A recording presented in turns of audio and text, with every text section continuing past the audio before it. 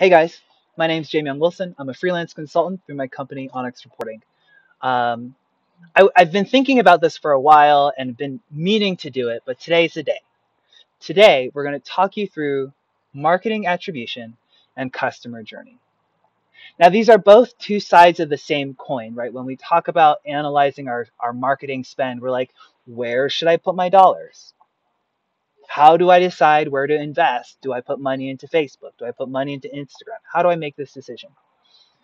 Um, so, to that end, we're going to talk about four different attribution models and we're going to talk about customer journey. Now, I'm not going to walk you through the code for how I came up with these numbers. I'm going to walk you through the math in Excel. Um, and then in my next video, I'm actually going to walk you through the code. This was all done in MySQL. Now, those of you who are uh, mathematicians or who are data scientists, you know you can implement this Shapley value using Python, um, but not every customer has a data science toolkit. So I wanted to show you how you could do this in ETL today, right now, no beta features, no um, premium features. But let's take a step back. What the heck is marketing attribution and why do I care? This is a real data set that came off of Kaggle um, the data science website. Um, and what it does is it says a cookie is a person, more or less, right? And that cookie follows you around. Every time I interact with a video, uh, they capture my cookie. And my journey says, hey, for this cookie, first they saw an Instagram video, then they saw an online display, then they saw another online display, then they saw an online display. And you know what? They didn't convert, they didn't buy anything. Do I have conversion? Here I have a conversion.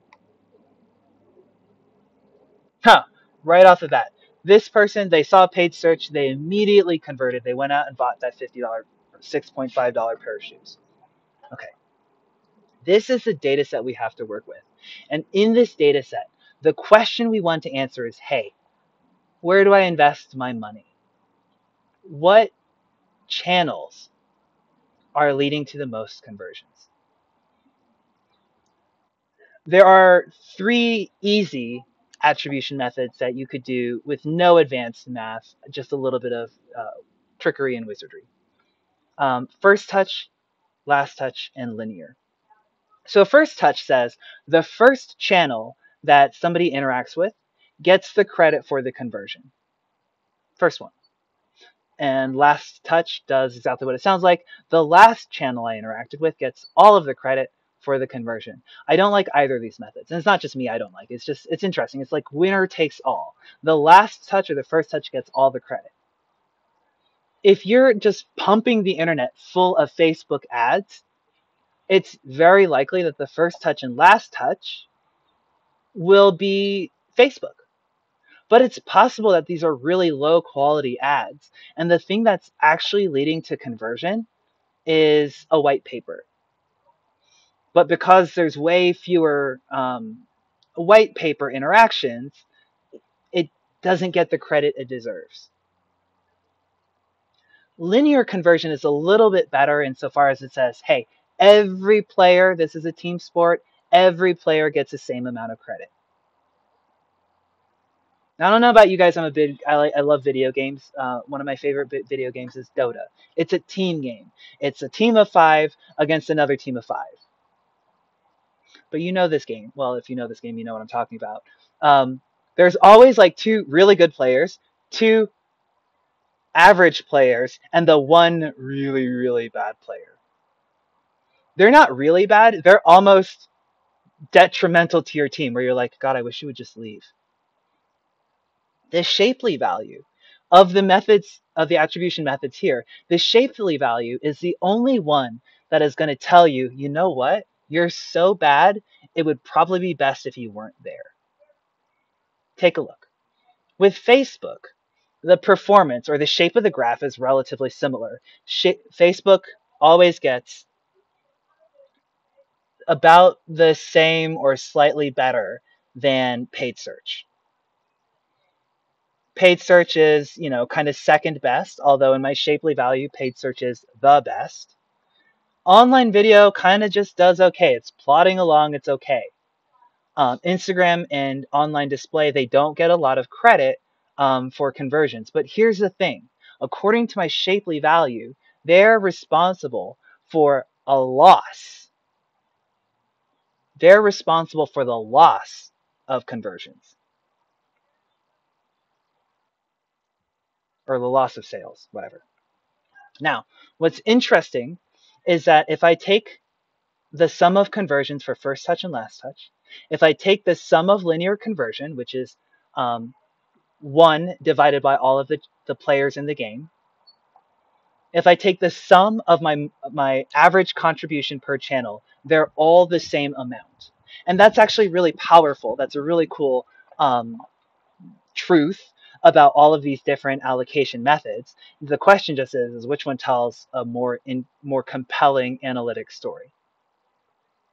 Okay, like I said, we're going to get into the math of this um, very shortly.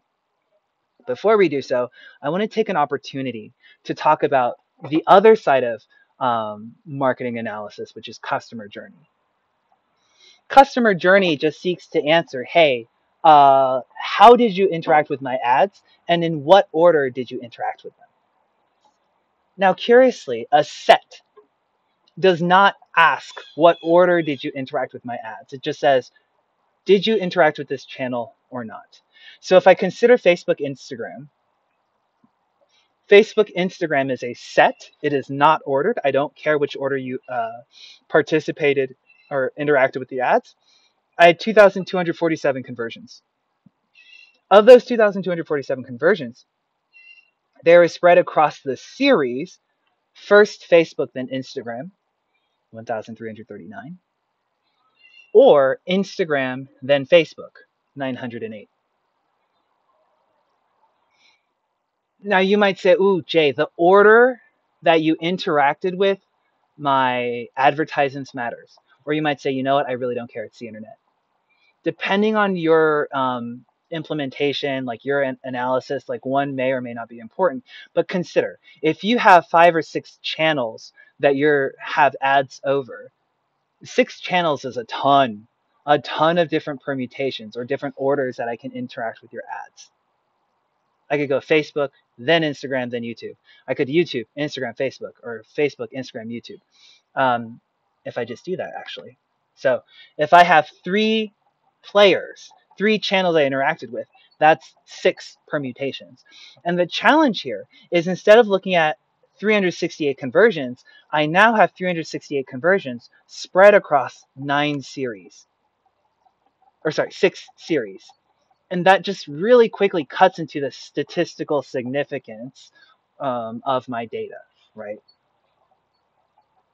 Where it gets worse is if I start considering repeats in both my series and my set, I ignore repeats. So like even though my series is Facebook, Instagram, sorry, even though my set are Facebook, Instagram, and paid search, I could see two paid searches, one Facebook, one Instagram. I could see two paid searches, two Instagrams, five Facebooks. Right? I could have 20 ads that I interacted with. And if people are having 20 interactions, it's a very low probability that you're going to see a lot of repeats of the exact same customer journey. But it's still kind of interesting to know. It takes 20 ads before I finally convert someone. That's something to know. In a similar way, um, I could look at my journeys by just when did I change channels. So I could say first I saw Facebook, then I saw seven Instagrams and one paid search, and that's the same as two Facebook, three Instagrams, one paid search. Again, my journey by channel just says when did the channel change. Now, for the Shapley math that we're going to be doing, we're exclusively going to be look at sets and series.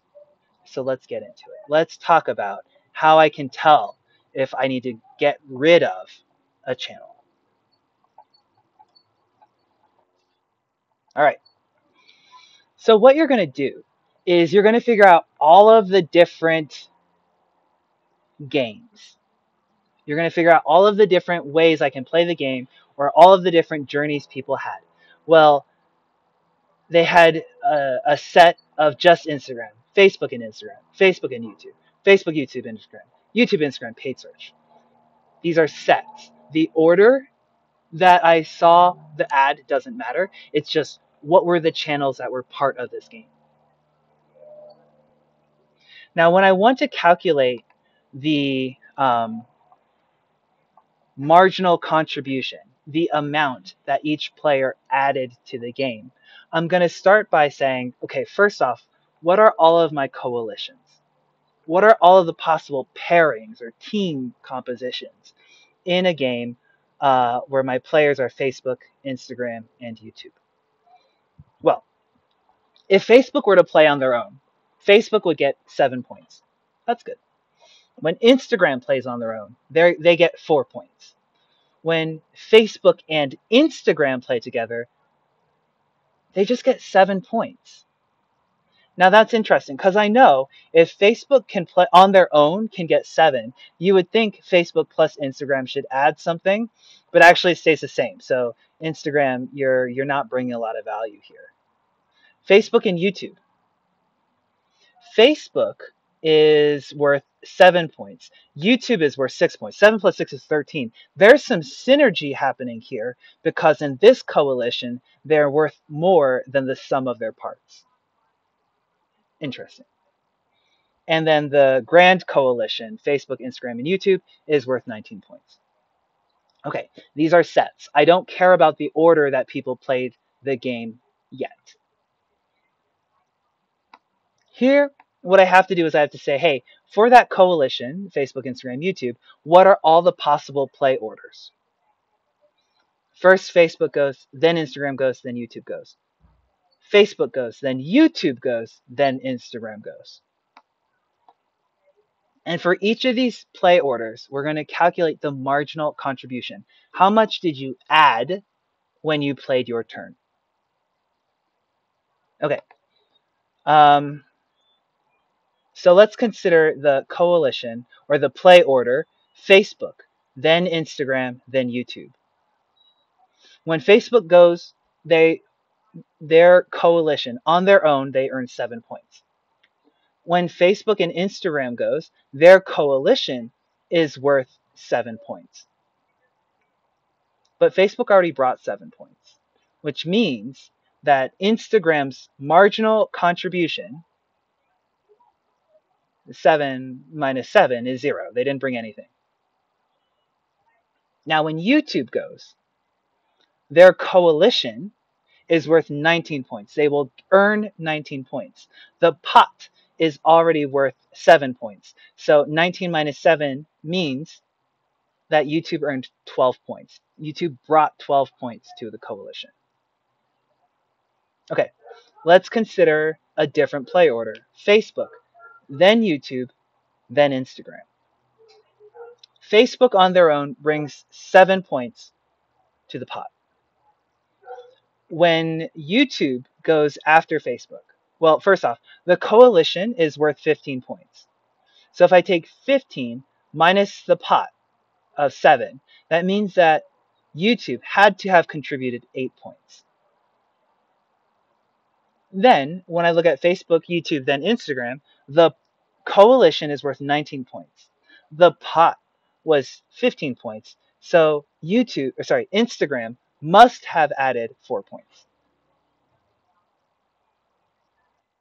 You do this process of calculating the marginal contribution for all of the different play orders based off of what each coalition can do. Okay. And then you just calculate the average marginal contribution. So for Facebook, in game one, they brought 7. In game two, they brought 7. 7 plus 7 is 14 divided by 2 is 7. Instagram, first game brought 0 points. Second game, 4 points. 0. Uh, 0 plus 4 divided by 2 is 2. 12 plus 8 divided by 2 is 10.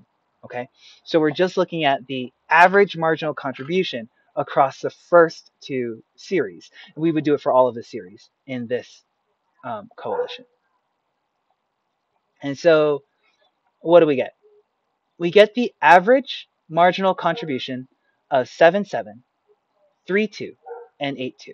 And that makes sense. YouTube was our banner player. We saw that YouTube brings a lot of value. Facebook brings some good value. Instagram, terrible. They're that player we might want to get rid of. Now, you, you might be wondering, well, Jae, under what circumstances would it be negative? Well, if I know that Facebook on their own can bring seven, and Instagram plus Facebook brings in four, right? Something happened between Facebook and Instagram to have a negative synergy. They should have like seven plus four is 11, but instead they're having four. So somebody in that partnership is bringing them down. And if uh, Instagram plus YouTube, also, if you can bring down YouTube from six down to one when you play, there's something really wrong with that that partnership. And if it off if it's Instagram often enough, then it's just negative. They're bad for the game. And actually, when our when we uh, go to the data, right, that's what we end up seeing. Instagram and, and online display are have such bad synergy, they tend to bring down our conversion rate. And what does that mean? Does it mean that they're bad? No, I mean it just pro- possibly means that you know you've just got really bad Instagram ads. Not only is it ineffective at converting people, but it's actually bad at converting. It causes people to dislike your product. Um, and again, that's the unique thing that Shapley brings to the table. All right, my name is Jae Wilson. This is the first part of a two part series. Um, we're taking a look at marketing attribution and customer journey. Um, we're trying to understand what it is. And in my next video, we're going to show you how to calculate it. I hope you enjoyed. If you uh, did, thumbs up, like, subscribe, all the things, or contact me at jae at onyxreporting.com. Have a good one.